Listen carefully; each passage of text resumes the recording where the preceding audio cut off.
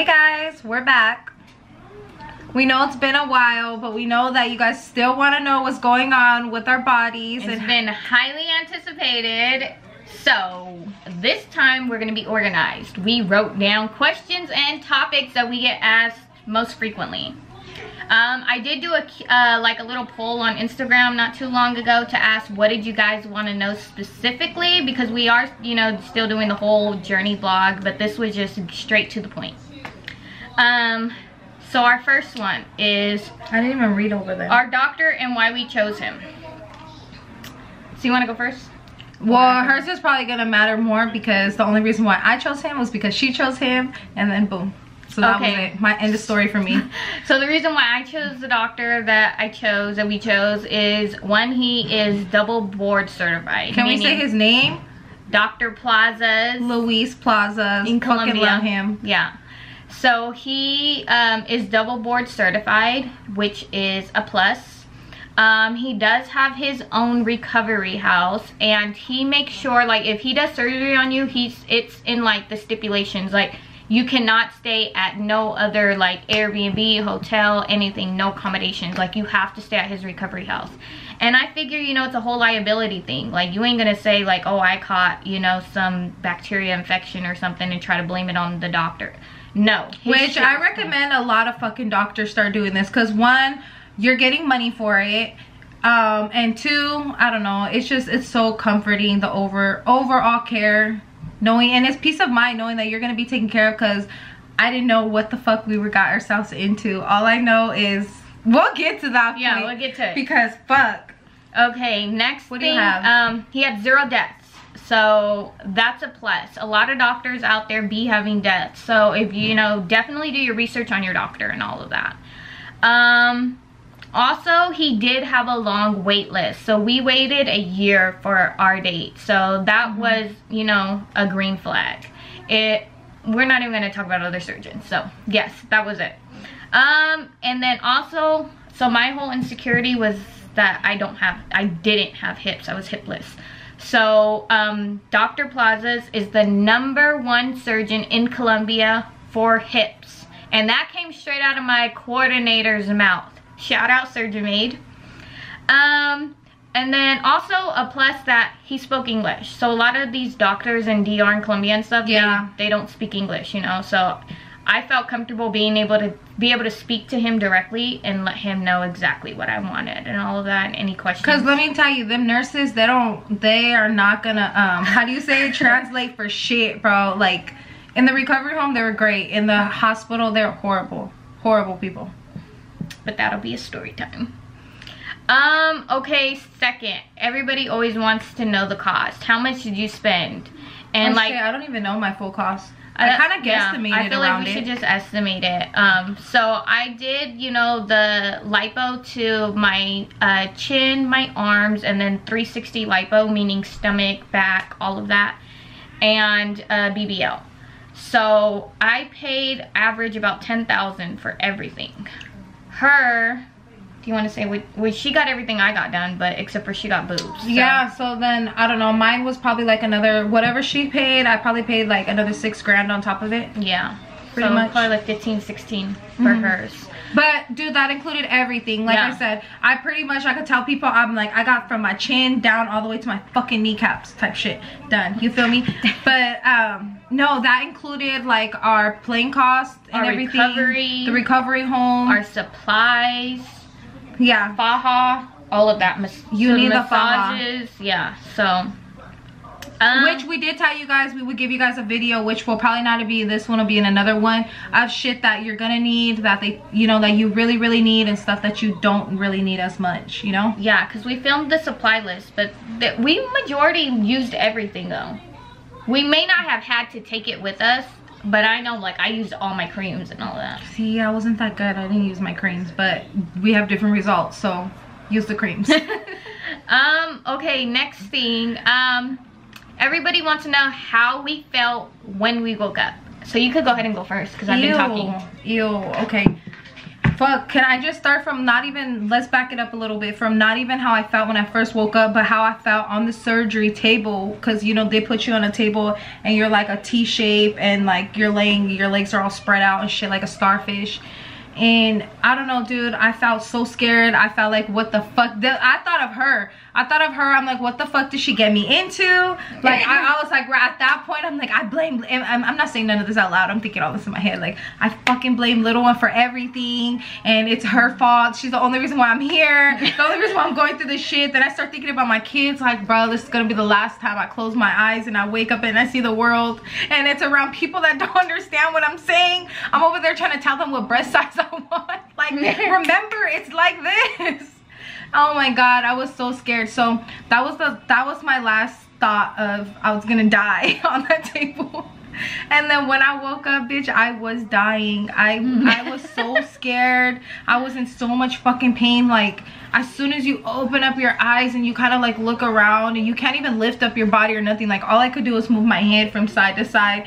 And dude i was so fucking scared. I was in so much pain like your whole fucking body because mind you i got my boobs done my ass my whole stomach you feel me? And i had more fat than she did. Like i'm not gonna lie they they fucking flattened my back out. Like that shit is it's straight. But before you know i had a little bit of uh-uh right here. But immediately after waking up immediately up, after i was cold as shit. I was hella cold okay hold on, hold on. hold on pause see this is where we need a person that's gonna edit our shit because they're gonna like put some little shit flashing behind us. Anyways um no. So i was there. She got her surgery done. What was it? Three days before mine four days before four. mine four days before um, mine got pushed back just because of some fucking COVID, uh, like vac vaccine type of shit. So they made me wait. But anyways, I was there to take care of her. Like they told me like visiting hours were over at like 8 o'clock or whatever. She didn't even get out until like 10 o'clock. I'm like, you got me fucked up. I'm not leaving nowhere. So I know my sister is good. She's out of the bed. So I was able to stay with her and wait for her to get into the recovery room. Um, and uh, yeah her feet were hella cold and she was all shaky and shit like that but go ahead how did you feel? I'm just it's kind of fucked up because i was there to take care of her but when i came out she was, I was fucked up she wasn't she able was in surgery and so. i was by myself so that was a little actually no, this is totally unrelated but while you were in surgery that was my worst fucking day. I swear to god. Fifth day fifth day was the worst fucking day for me. Um i just my body just did not feel good um, okay. So then you were cold. So when you first woke up, you were hella cold. That's really right. it. I was out of it. Like I was drugged the fuck up off of whatever they drugged me with. I I woke up for a minute. I seen her there. Oh, she I had to force me. I made I forced you to drink your Gatorade and shit because they make you take Gatorade and what what juice was it? Mango juice, I think. Oh yeah. I think it's mango juice and um, they make you drink that like right after surgery. I don't know if it's it's just supposed to make you feel better. I don't know if the electrolytes or sugar. Oh, and vitamins. I had to put back in my tongue ring. I remember oh, that. Oh yeah. I remember that because I was scared. You know, the tongue heals hella fast. So I was like, bitch Your tongue got twisted saying that, huh? I don't know. I yeah. I remember waking up like uh, she's putting in my tongue ring, knock back out. That was it. Yeah, she told me she's like it's taped to my phone, so I had to pull it apart and everything and trying to. I'm like sticking. She's sticking her tongue out and her tongue's all slimy. you know. Again, I had to put my own fucking tongue ring back in. like, okay. Um. Do we want to talk about the massage? What are we at? The massage horror stories. We can say that for story time. we'll save that for story time. Just know that you need to get massages. At our recovery house they were included. We did have to get additional extra. We paid out of cost. Massage massage massage. It's very important. But story time for our massages will be a little bit later. Because that uh, shit is it's a horror scene on its own. Y'all need a separate video for that. So the only thing that we want to say now about the massages is that they're horrific. they're painful as fuck. Like but it's like, what the fuck are you gonna do? You already put yourself through this hell. So, and you know you have to get this done. It's like mandatory. Either that or else your stomach's gonna be all bumpy. Fucked up results. You're gonna have fibrosis for sure. Yeah, so it's like, you know. We had no choice, but let me tell you. But you know what? It's weird because when you when you get it done, it's very painful. You don't like it. It's it's very antagonizing, you know? But at the same time once you're done with it because you go and shower and everything and you come your your body feels different like I don't know how to explain it. Like without the massage, you feel like somebody poured concrete on you and the concrete dried and now you're just stiff. You're stiff. You fuck. can't fucking move. So once you get that massage, you're like a little bit more limber and everything. Like yeah. you just feel a little bit better. You still feel fucked up. Don't get it fucked up. You still feel fucked up, but it it relieves it a little bit. Um. Okay. Next, our best experience and worst experience. Ooh. Best experience i think from overall are we talking about aftercare right? Like after oh i don't know. before like that's that's a broad range.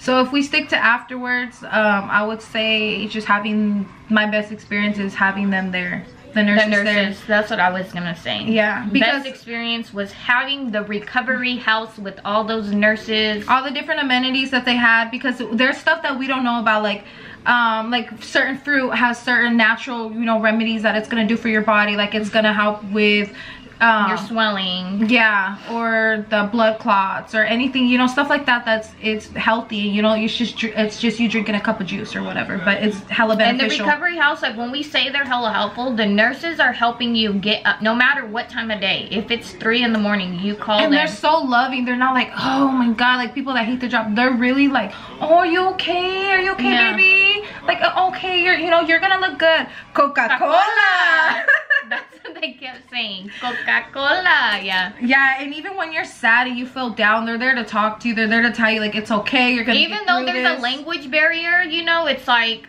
they know enough english to make you feel good like you mm -hmm. know mm-hmm. some stuff you do gotta pull out your google translator and all that but they're helping you to the bathroom they're helping you shower i couldn't even feed myself dude yeah my and it's like, like she don't even need to she didn't even need to ask like can you can you spoon feed me? They see her struggling. Let me help.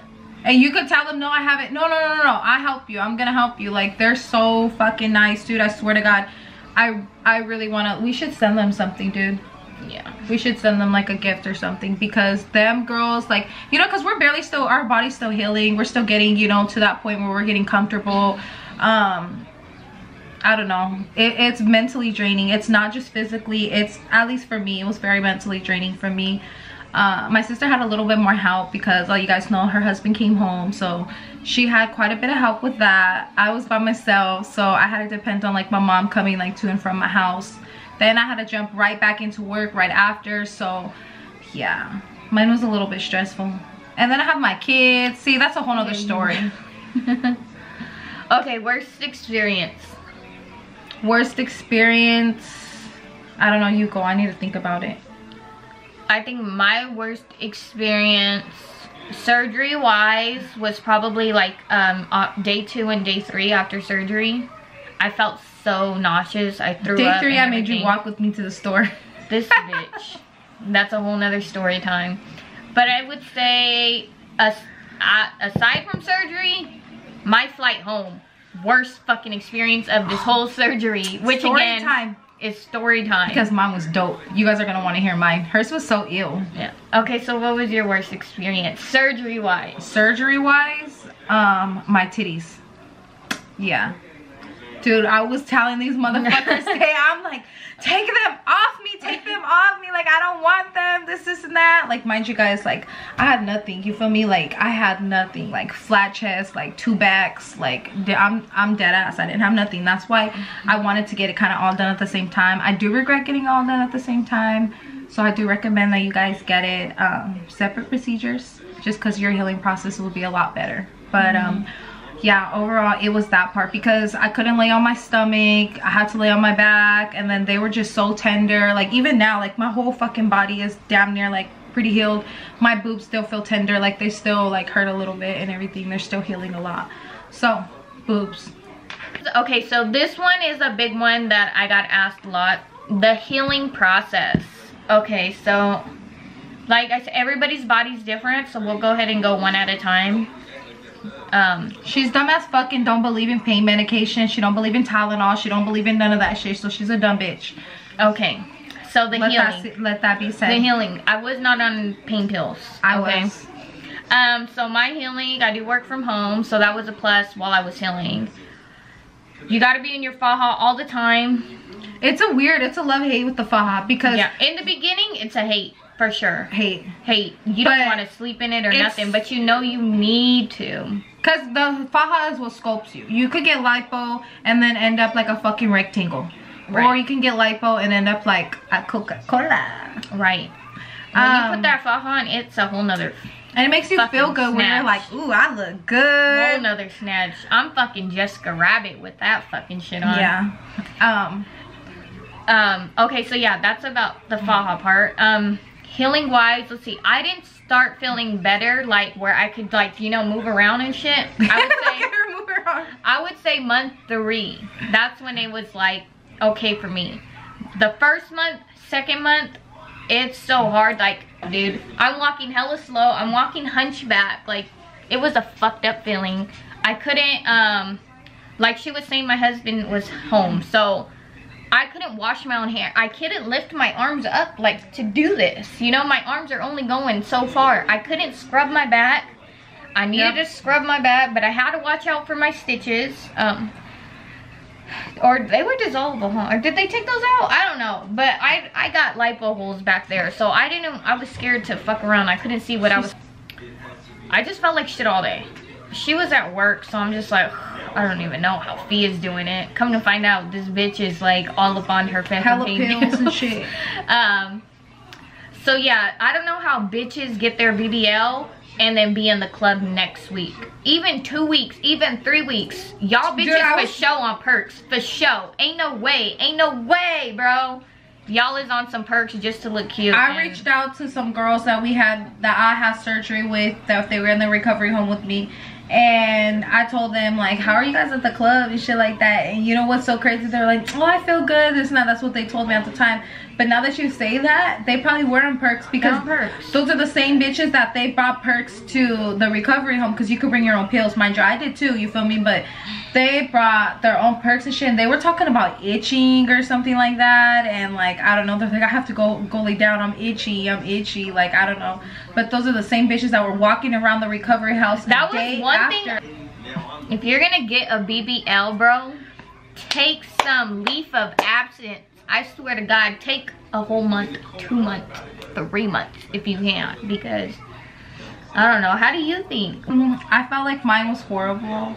Only like I keep saying it's because I got top and bottom done. So instead of just being able to lay on my stomach and everything like I couldn't because of my boobs they hurt it. I couldn't lay on I was scared to lay on my back because I didn't want my ass to come out flat so I just had a fucked up ass experience overall like I was sleeping on the fucking couch like on my knees like on some kneeling shit like I went through some shit and then I had to go back to work too. Mm -hmm. I was only home back from Colombia for like three days or mm -hmm. something mm-hmm. like that. I came home on a Sunday and I went back to work on Wednesday.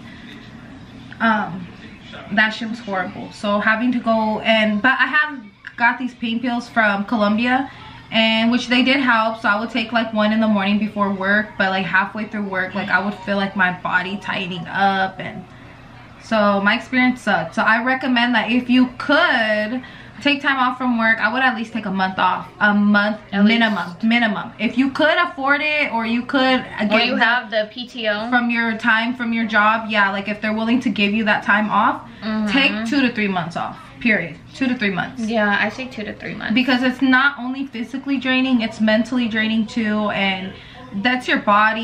You just want to you don't want to just throw all this money away. You want to take care of yourself like inside and outside which it's a lot it's a lot more than i thought it was gonna happen but we made it. So for you how long did it take for you to feel better?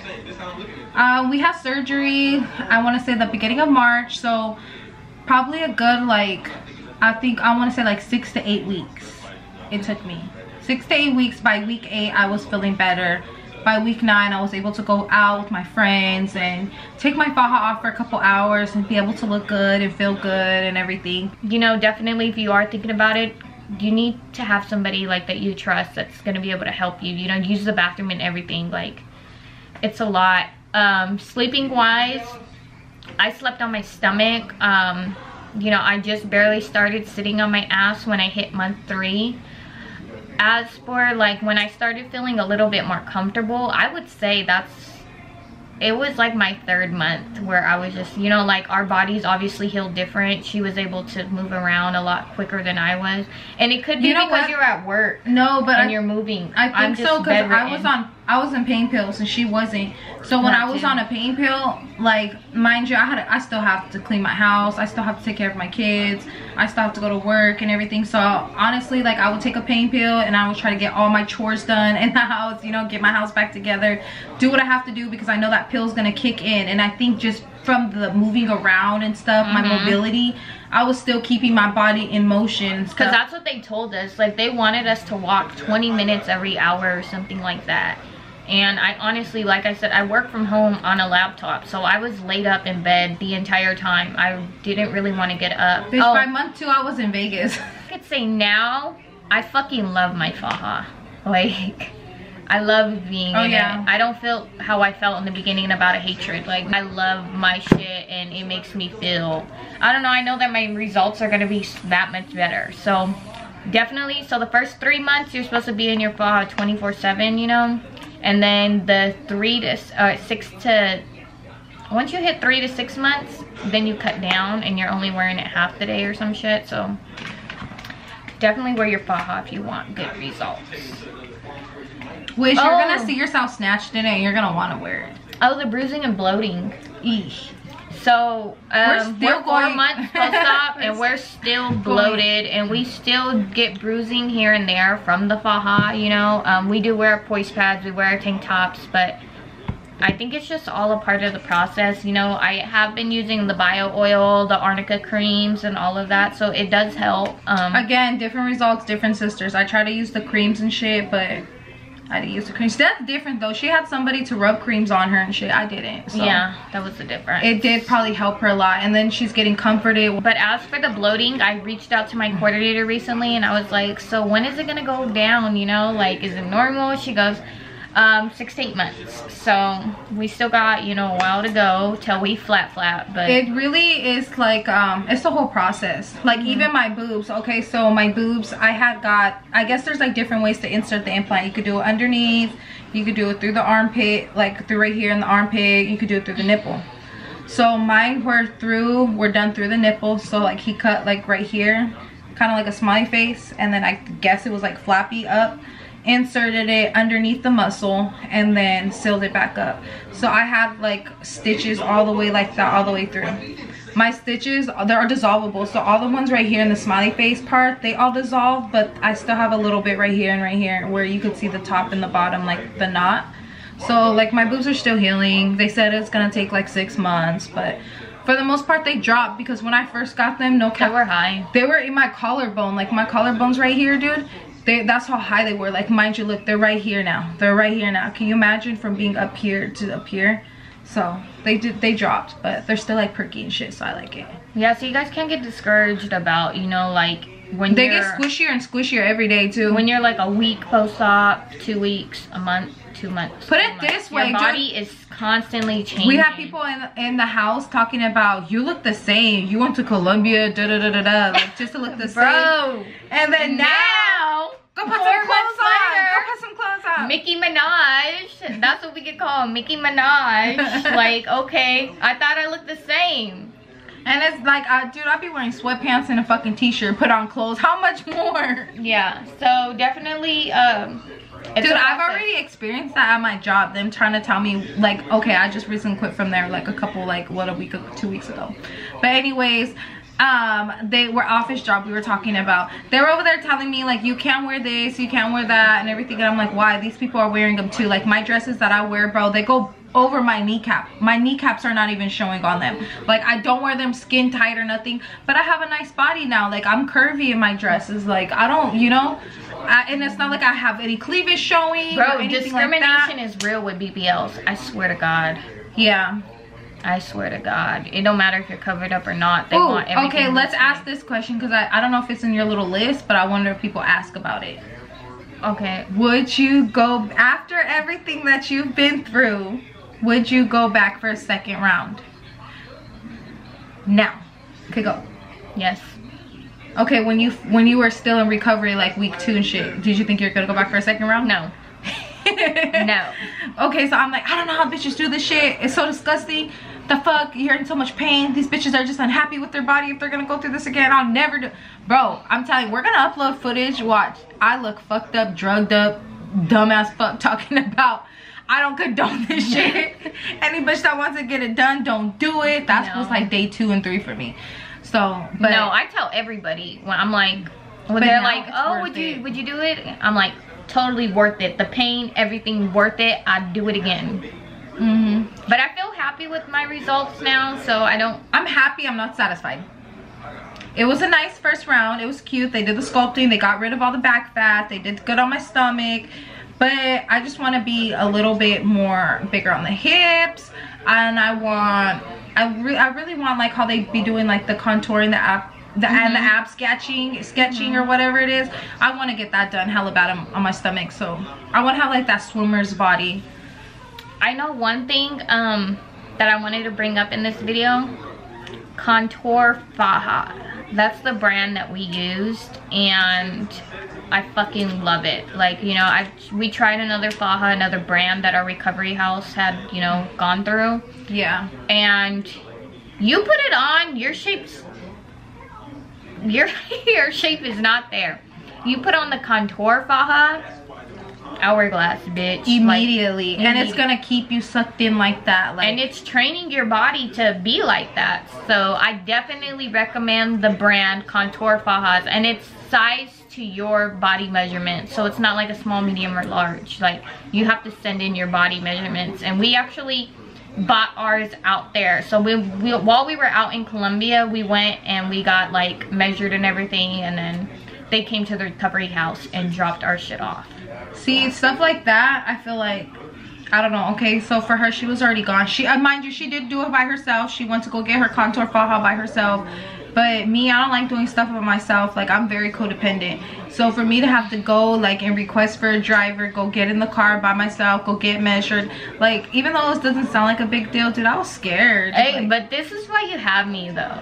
You wouldn't have had that contour faja and we would have been shaped ugly. So when you follow my lead it's never really been bad ever. Like she gets me into so much shit bro. Let my mom tell it she's always like you always listen to her. She's such a dumbass and, and this is that. Why the why do you always teach your sister to tell her to do this? And yeah okay guys so we're gonna go ahead and close out the vlog here i think we covered everything um you know still yet to come is our story time all our fucking horrific story times of what we went through because there's a lot of shit. You know, we were there for two weeks, so we do got some story times for y'all. We do have um, footage that's just strictly of Colombia, so you guys could see mm -hmm. the culture, see you guys see the recovery house the mall everything so. Beginning to end. So this was just us telling you a little bit about mm -hmm. it now our next video we're gonna show you everything. Right.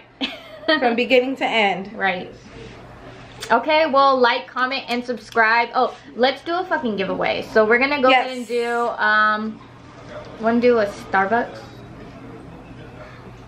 Jamba juice? It's we'll hot. do jamba juice it's okay. hot it's hot we're gonna go ahead and do a jamba juice giveaway card giveaway so in order to enter into our raffle go ahead and just leave a comment so yeah like, comment, and subscribe. Fucking comment for your fucking Jamba Juice entry. But all right, we're gonna wrap it up because I gotta go to work. Hopefully, um, you know, this shit takes off. I won't have to be going to work no more, and we'll just be able to wake up and Period. vlog. Period. Period. Um, Period. All right. but you guys get to see us from the beginning. All right. All right. Bye. Bye.